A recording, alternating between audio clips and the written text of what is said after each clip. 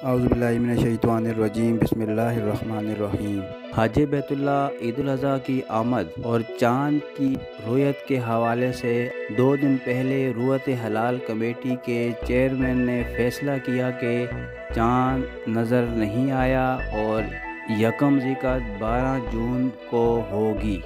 ये फ़ैसला किया गया इजलास की सदारत करते हुए मौलाना अब्दुल खबीर आज़ाद ने यूँ अब हज बैतुल्ला और ईद अजी की आमद में अब सिर्फ़ 40 दिन का वक्त रह गया है। यहाँ वाज रहे कि पाकिस्तान में यकम हज 11 जुलाई, जबकि ईद अजी 20 जुलाई को होने का इम्कान है। पिशावर के मुफ्ती पोपल जई साहब, मैं उनसे मुखातिब हूँ।